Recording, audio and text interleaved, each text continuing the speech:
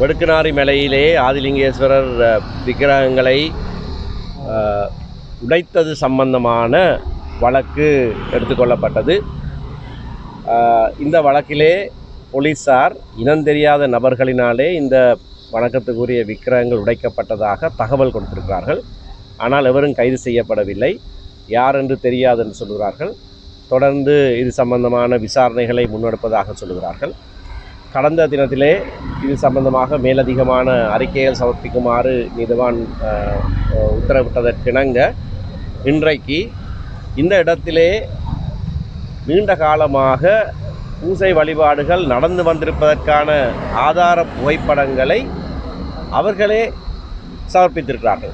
மிக குறைந்த வட்டி வீதத்தில் நகை அடகு வைப்பதற்கு நம்பிக்கையுடன் நாடுங்கள். ஈஸ்தம் சூர்யா ஜுவல்லர்ஸ்.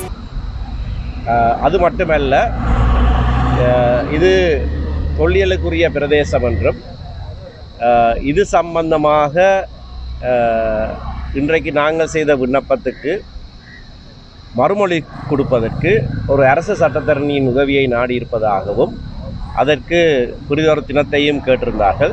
மிக குறைந்த வட்டி வீதத்தில் நகை அடகு வைப்பதற்கு நம்பிக்கையுடன் நாடுங்கள். ஈஸ்தம் சூர்யா ஜுவல்லர்ஸ். ஒரு கல் தொல்லியலுக்குரிய ஒரு விடயம் என்றதற்காக அதனை வணங்க முடியாது என்று எவரும் சொல்ல முடியாது. அப்படி சொல்வதாக இருந்தால் அனுராதபுரத்திலேயும் பொன்னர்வையிலையும் எவரும் சென்று எந்த வணக்கத்தையும் செலுத்த முடியாது.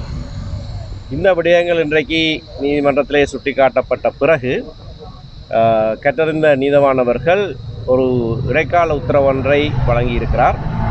அதாவது வெடுக்கினாரிமலை பிரதேசத்திலே இந்த பூசை விடயங்களை நடத்துவதற்கு வணக்கங்களை நடத்துவதற்கு பக்தர்கள் சென்று அந்த பூஜைகளை நடத்துவதை எந்த அரசு அதிகாரியும் தடுக்கக்கூடாது என்கின்ற உத்தரவு இன்றைக்கு கொடுக்கப்பட்டு போலீசாருக்கும் அது அறிவுறுத்தப்பட்டிருக்கிறது. மிக குறைந்த வட்டி வீதத்தில் நகை அடகு வைப்பதற்கு நம்பிக்கையுடன் நாடுங்கள். இஸ்தம் சூர்யா ஜுவல்லர்ஸ்.